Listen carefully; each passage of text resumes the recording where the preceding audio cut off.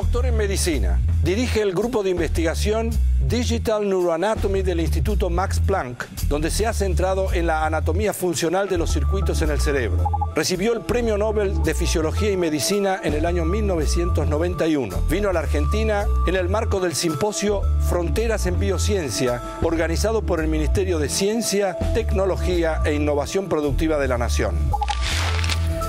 Como siempre en, el programa en Científicos Industria Argentina, eh, la idea es, por supuesto, conversar con los científicos que trabajan en nuestro país y también con aquellos científicos argentinos que trabajan en el exterior.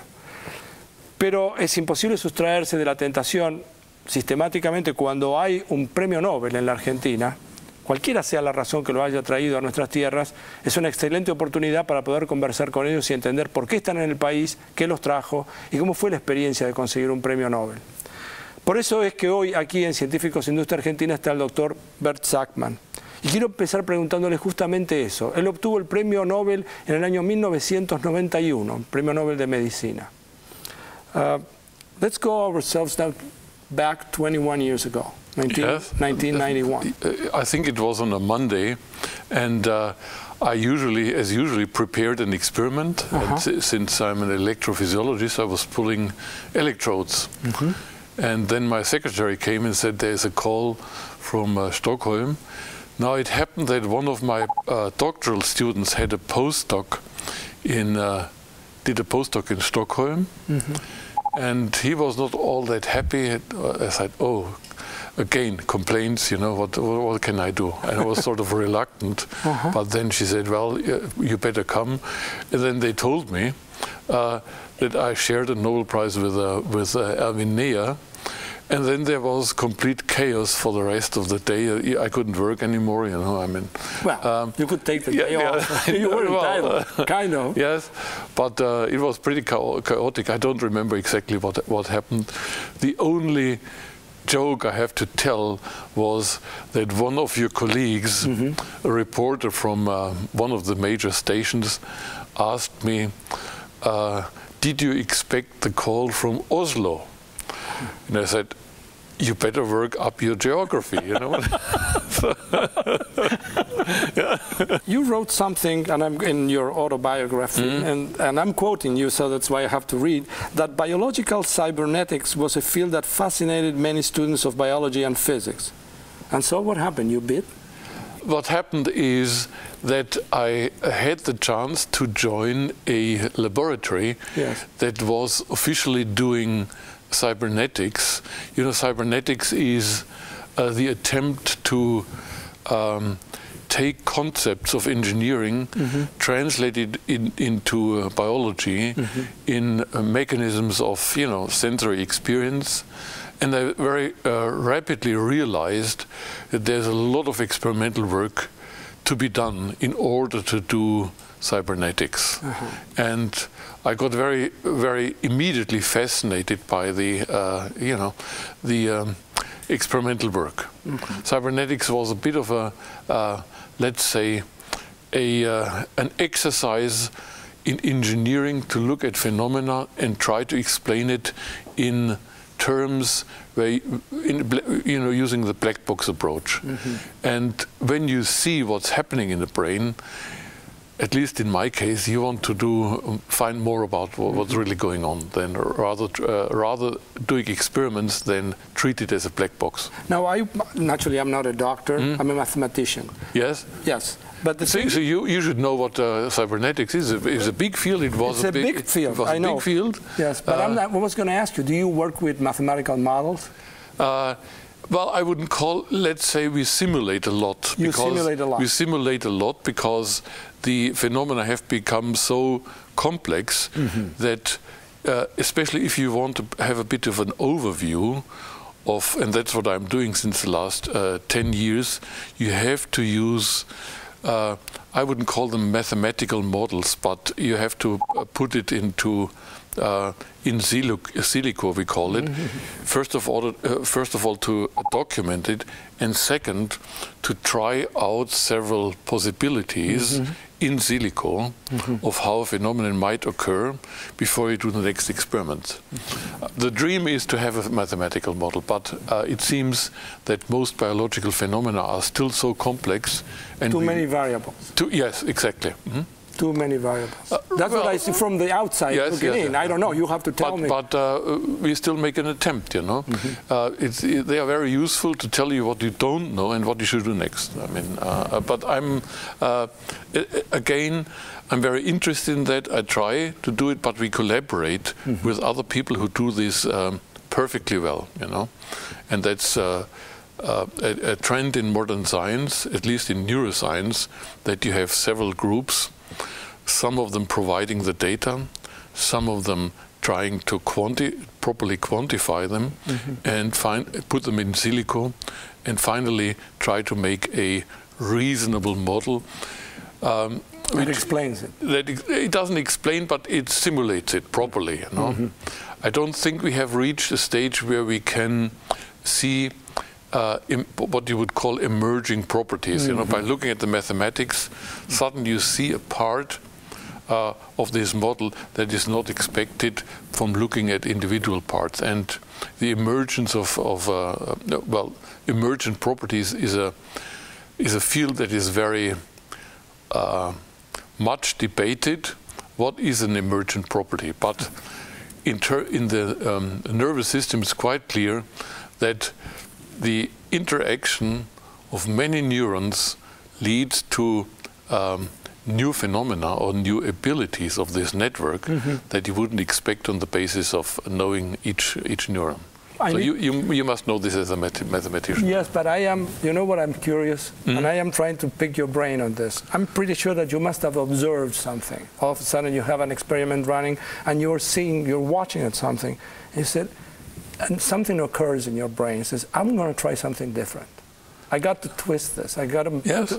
All the time. This happens all the time. All the time. Well, uh, maybe not all the time, but let's say you observe something, then you do it again, and then it's very exciting because uh, you think you have discovered a new phenomenon, but then the rest of the year is spent to to make it solid. You know. Yes. So uh, in let's say experimental work, scientific work, you have one or two or three times per year, you have these moments where you think, oh, nice, I have understood something. Mm -hmm. And the rest of the time is spent make sure that it's right. That's right. And in many cases, it's not. It's not. What did we know 21 years ago when you got the Nobel Prize, and now that was what was new? I mean, like in this last 20 years. Well, for me, the most fascinating developments are twofold. We, it's the uh, use of optical uh, tools mm -hmm. to look in the in vivo brain, so in the living brain, not in a uh, dish, to look at what we would call synaptic transmission. That's the interaction yes. between uh, between uh, cells, -huh. and um, the at, at least for me, one of the most fascinating discoveries is that small subcellular organelles called spines, this is where the synapses are, are individual compartments which are probably the sites where memory is stored. Wow. Probably. That's, that, that's one. The other exciting... That is incredible. Yes. How do you well, found it, that? It, well, uh, well, many people have worked on that.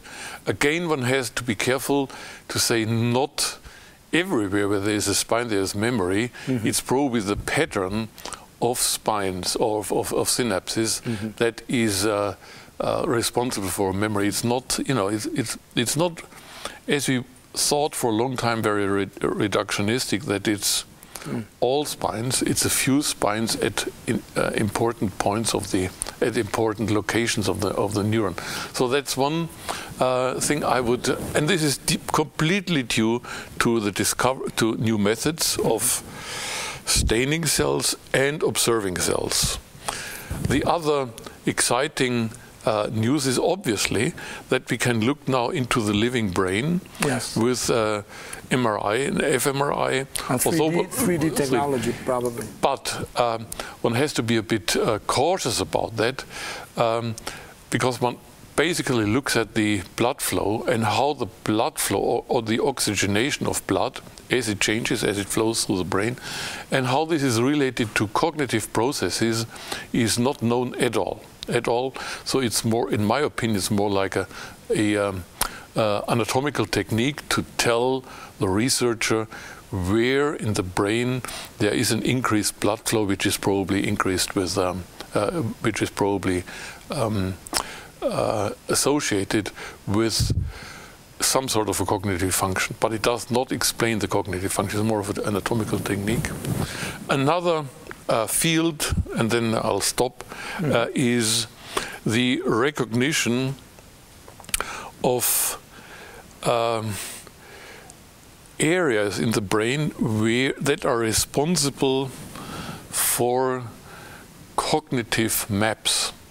If we orient ourselves mm -hmm. in our environment, we have an internal map that tells us uh, where to go, you know, and we remember this is back, this forth. Mm -hmm. And there have been uh, several researchers during the last uh, 20 years found out different components of the, uh, the uh, electrical representation of this cognitive map. Wow. Where by looking at the activity pattern, you might, and this is, uh, is, is uh, let's say, relates to rodents, you might predict what how, uh, how, how, the animal orients itself. So you have to think of this, you have an internal representation of your environment, mm. and the outcome is that uh, there is an area in the brain that responds uh, to uh, in a matter where the whole environment is triangulated. So we we we have a we have a the cognitive map is made up of small and larger triangles. That's very mathematical. Yeah, it is very very. very that's very why it's beautiful, you know. Yes. So triangulation. It's a triangulation uh, put on our space is really beautiful experiments mm. and. Associated with this is a discovery of place cells, uh, which are cells that tell you they are probably driven by these grid cells, not quite clear. They tell you where where you are. So when you are somewhere in space, a population of neuron is very very active. So it these gives you the sense of orientation. No, it gives you. Well, we don't know, but it, it, it's just an observation. But it represents internally that you know where you are. Okay, mm -hmm. so this has two components. One is the grid cell, uh -huh. where you, where we uh, where we get our coordinates, yes. and the subsequent um, uh, structure called the hippocampus. Uh, there are cells that tell you where you are. Okay? Amazing. It is really amazing. It's uh, so. So these are three fields, three, three fields. Uh, that I found most fascinating. We're going to take a break. Yeah, okay. Maybe I talk, was talking too much. No, you were not talking no, too much. I don't have the opportunity to talk to yeah. you at all. So, eh, vamos a hacer una pausa con el doctor eh, Bert Sakmann, que nos visita aquí en Científicos Industria Argentina, y continuamos inmediatamente. Después de la pausa, seguimos conversando con Bert Sackman sobre su trabajo actual y momentos después, fósiles y patrimonio paleontológico. Ya volvemos.